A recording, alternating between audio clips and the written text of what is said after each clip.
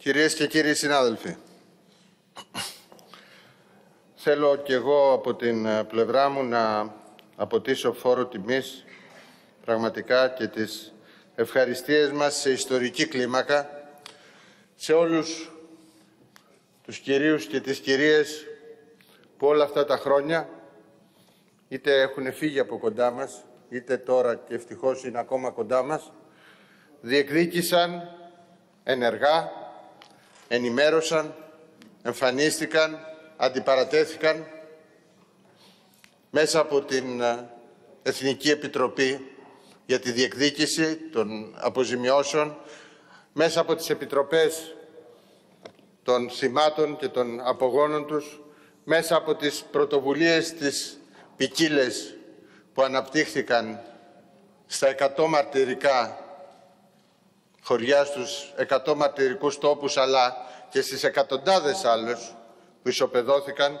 και υπήρξαν εγκληματικές ενέργειες. Θέλω από καρδιάς και εκ μέρους όλης της Βουλής ξανά να τους τιμήσω, δεν υπάρχει θέμα ευχαριστίας, ως καθήκον, ως ήθος κατέθεσαν αυτό το αποτύπωμα όλα αυτά τα χρόνια μαζί και με παρόντες και παρούσες, βουλευτές. Και θέλω να πω ότι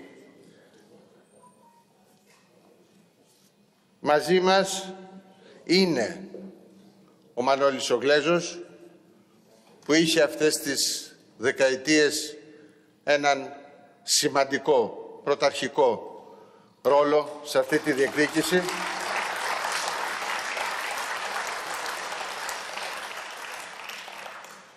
Σήμερα το πρωί του φεκισμένοι πέφτουμε για την πατρίδα με γέλιο στα χείλη για τη Λευτεριά. Λίτινας, Μανώλης και Βατατζής. Ένας εξ αυτών ο αδελφός του Μανώλη του Γλέζου είναι στην προμετωπίδα της μαύρης βίβλου της κατοχής που έχει κυκλοφορήσει εδώ και 20 χρόνια στα ελληνικά και στα γερμανικά. Αυτή τη στιγμή ο Μανώλης Ήμασταν σε επικοινωνία όλη την ημέρα, γι' αυτό προηγούμενα έκανα αυτή την παρέμβαση σε κάτι που υπόθηκε. Βλέπει το αυθεντικό γράμμα του αδελφού του, για όποιον λίγους από εμάς είχαμε την τύχη να πάμε στο σπίτι του, το γεμάτο από βιβλία που είναι δύσκολο να περάσεις. Έχει ένα στασίδι που δουλεύει, όπου απέναντι είναι καρφιτσωμένο εφόρου ζωής από τότε αυτό το γράμμα, το αυθεντικό και το βλέπει κάθε μέρα, κάθε στιγμή. Και αυτή τη στιγμή μας ακούει, αυτή τη στιγμή μου είπε να σας διαβιβάσω σε όλες τις δυνάμεις του Δημοκρατικού Τόξου την ε, ευαρέσκειά του, τη συγκίνησή του και προς όλους για την δουλειά που έχει γίνει, για την προσπάθεια που έχει γίνει και που θα γίνει από εδώ και πέρα. Μου είπε ότι συμφωνεί ιδιαίτερα με αυτό που είπε η κυρία Αναγνωστοπούλου σε σχέση με την επικέντρωση που πρέπει να γίνει για το ζήτημα της συνθήκης ειρήνης και τις ενστάσεις γύρω από αυτό που δημιουργεί της Γερμανίας και των συμβαλωμένων μερών ως προς την ουσία ε, του θέματος.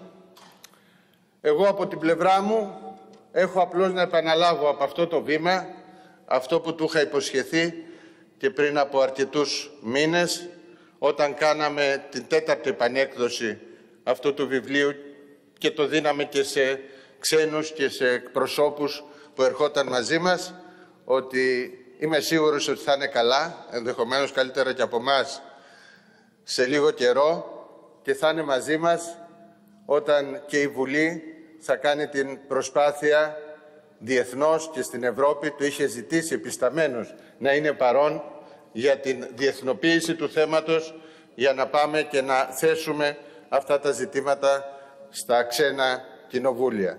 Θα είναι μαζί μας αυτή την υπόσχεση του τη δίνουμε από αυτό το βήμα και νομίζω ότι ομόφωνα τη δίνουμε.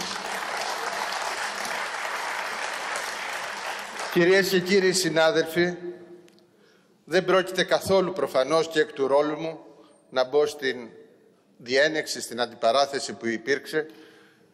Πιστεύω πως όλες οι ενέργειες που γίνανε και πριν και κατά τη διάρκεια και μετά και τώρα είναι λιθαράκια, είναι αποτυπώματα, είναι κομμάτια ενός παζλ που σήμερα κάνουν πολύ πιο δυνατή τη χώρα στην διεκδίκηση των γερμανικών αποζημιώσεων. Όλες οι προσπάθειες από όλες τις πλευρές, στις ημερομηνίες που υπόθηκαν, που κατατέθηκαν.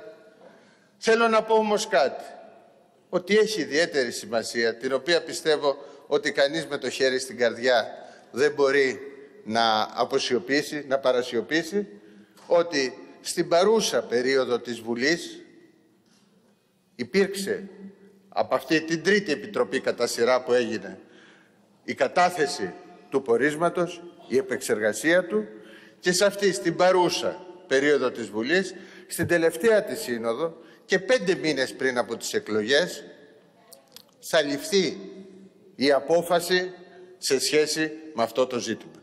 Αυτά είναι γεγονότα. Γεγονότα τα οποία φωτίζονται και με τις εστάσεις, τις διαφορές που υπάρχουν μέσα από τη διαδρομή του πώς φτάσαμε μέχρι εδώ, αλλά αυτό το γεγονός καθ' αυτό παράγει ένα ιστορικό αποτέλεσμα για αυτή την υπόθεση. Και νομίζω ότι αυτό θα πρέπει να το κρατήσουμε όλοι και όλες. Κυρίες και κύριοι συνάδελφοι, είναι μια εξαιρετική συγκυρία για τη διεκδίκηση των γερμανικών αποζημιώσεων. Μια εξαιρετική συγκυρία διότι έχει υπάρξει μια ορίμανση στο εσωτερικό της χώρας και θα αναφερθώ κλείνοντας αυτό για το πώς η Βουλή συμμετείχε σε αυτή την ορίμανση αυτά τα χρόνια. Ταυτόχρονα υπάρχει μια ορίμανση στο εσωτερικό της Γερμανίας, υπόθηκαν πάρα πολλά πράγματα.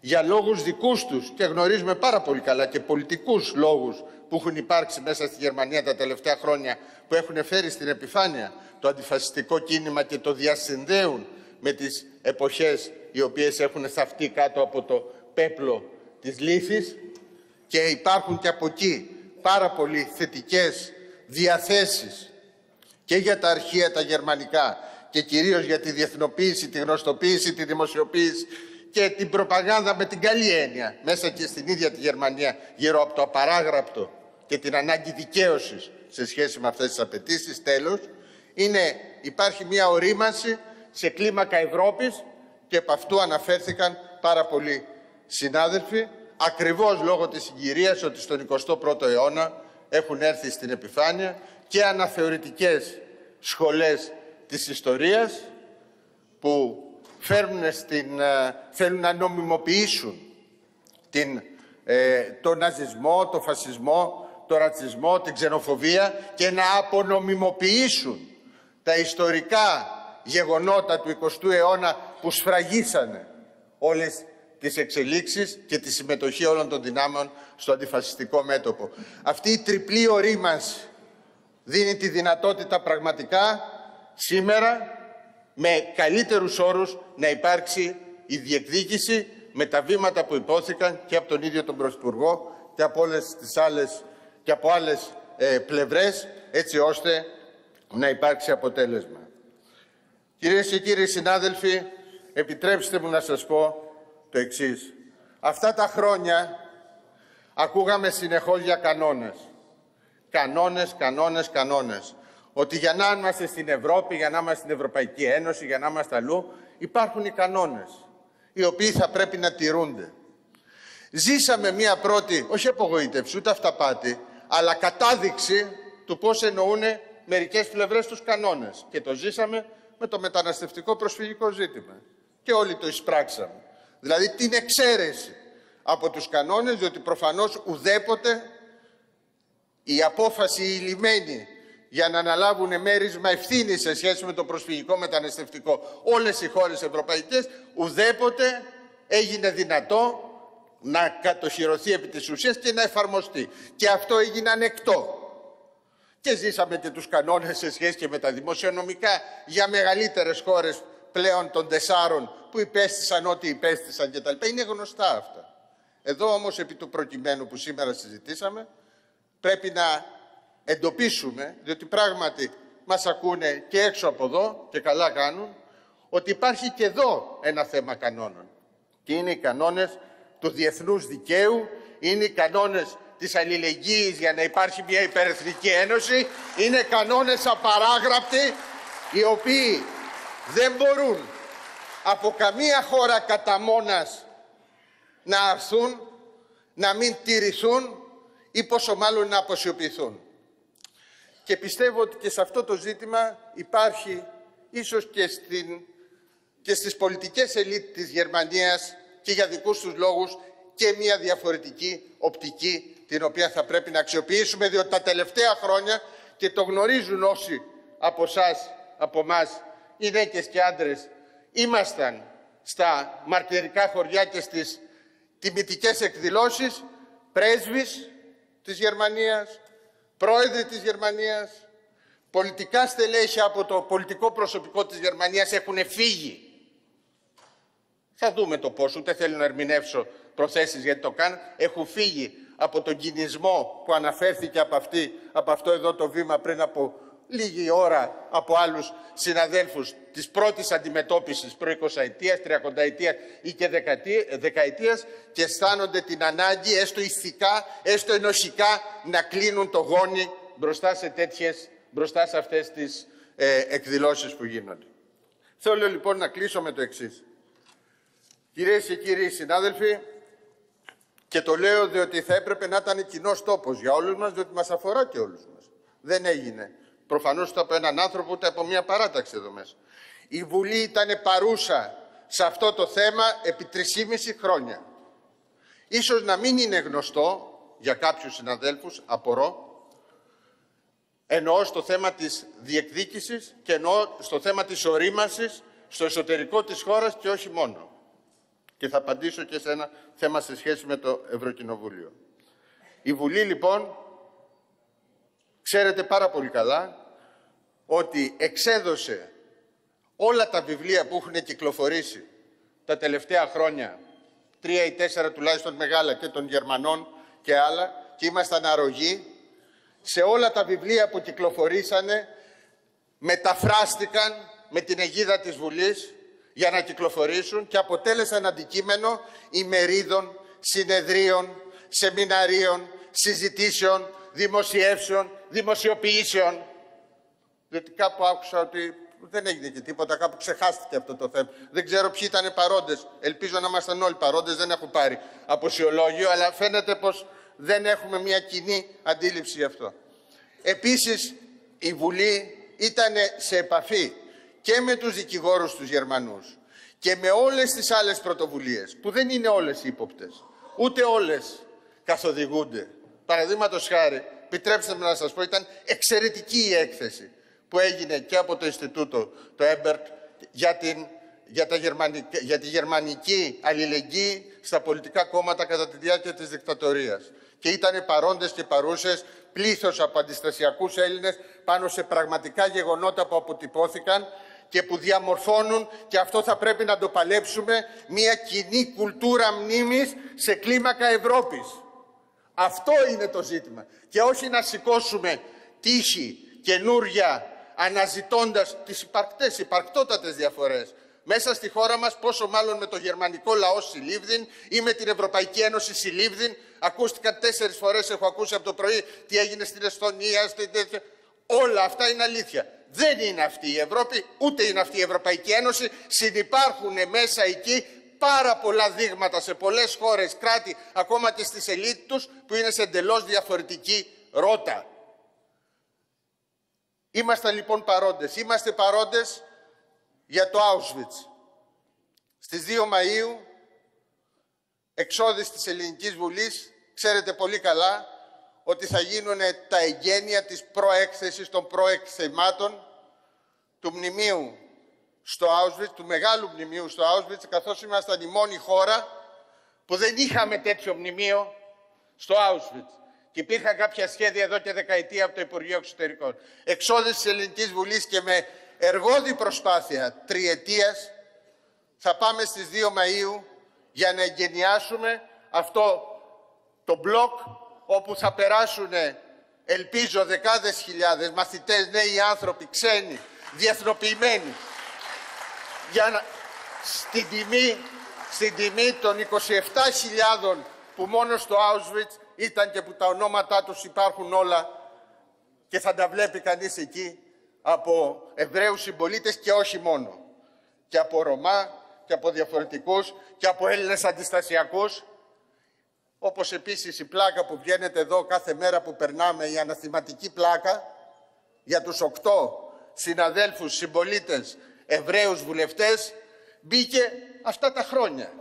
Μπήκε αυτά τα χρόνια και μπήκε από όλους μας και κάθε χρόνο κάνουμε τις τιμητικές εκδηλώσεις μετά από δεκαετίες για αυτούς τους οκτώ συναδέλφους που ήταν θύματα στο Auschwitz. Και επίσης μπήκανε και τα θεμέλια του μεγάλου, θα είναι το δεύτερο μεγαλύτερο μουσείο για το ολοκαύτωμα στη Θεσσαλονίκη και γίνανε οι εκδηλώσεις και οι τιμητικές πράξεις, οι προϋποθέσεις σε σχέση με τα τρένα που φεύγανε, οι πορείες, οι διαδηλώσεις, αυτά είναι διεκδίκηση. Αυτά όλα είναι διεκδίκηση η οποία έμεινε ζωντανή και με αυτούς τους τρόπους. Δεν είναι μόνο διεκδίκηση και να σκιαμαχούμε ποιος πήγε πώς, ποια ημερομηνία για να πει τι δημοσίως ή στα ισότερα όταν οι ηγέτες μεν. Επ' αυτού είναι προφανή. Ο πρόεδρος της Δημοκρατίας, ο πρωθυπουργός, ακόμα και εγώ σε συναντήσεις, αλλά και όλοι οι άλλοι, πάντοτε θέταμε τα ζητήματα. Δεν θα αρκούσε αυτό. Δεν θα έλεγε τίποτα αυτό. Η Βουλή ήταν παρούσα σε όλα αυτά και πιστεύω. Επίσης, ίσως υπάρχει παρεξήγηση για το θέμα του Ευρωκοινοβουλίου. Η Ελληνική Βουλή, μόλις μάθαμε ότι υπήρχε αυτή η συζήτηση στην υποεπιτροπή για να τεθεί το ζήτημα, στείλαμε σε έκτακτη δουλειά που έγινε μέσα στο τυπογραφείο της Βουλής, στα ελληνικά, αγγλικά, γερμανικά, το πόρισμα προς τους ευρωβουλευτές μας και προς το Ευρωκοινοβούλιο αμέσως για να είναι υπόψη της διεθνούς κοινής γνώμης εκεί και στο Ευρωκοινοβούλιο στην παρούσα συζήτηση ότι η Ελληνική Βουλή έχει ξεκινήσει τη διεκδίκηση. Υπάρχει πόρισμα της Επιτροπής η οποία θα έρθει στην, θα έρθει στην Ολομέλεια. Αυτά είναι γεγονότα. Αυτά είναι γεγονότα. Ουδής σιώπησε. Ουδής σιώπησε για αυτά τα πράγματα. Κυρίες και κύριοι συνάδελφοι, πιστεύω ότι σήμερα ήμασταν υποχρεωμένοι, είμαστε υποχρεωμένοι να μιλήσουμε με την αίσθηση του καθήκοντός μας, με την αίσθηση της ευθύνης μας. Να μιλήσουμε κατά κάποιο τρόπο και με την ιστορία και να πούμε όλοι μαζί μετά από την δρομολόγηση της διεκδίκησης για μια ακόμα φορά όχι ποτέ πια φασισμός στην Ελλάδα και στην Ευρώπη.